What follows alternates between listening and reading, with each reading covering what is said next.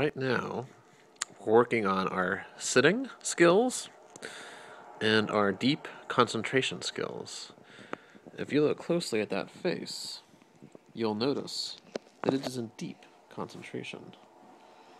What are you thinking about, Lochlan? What is on your mind?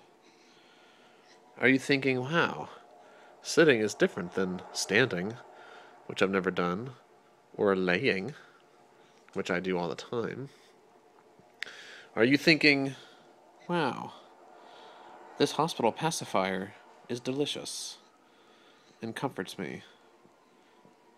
Are you thinking, where's my hand? And why is it missing? Perhaps that's it.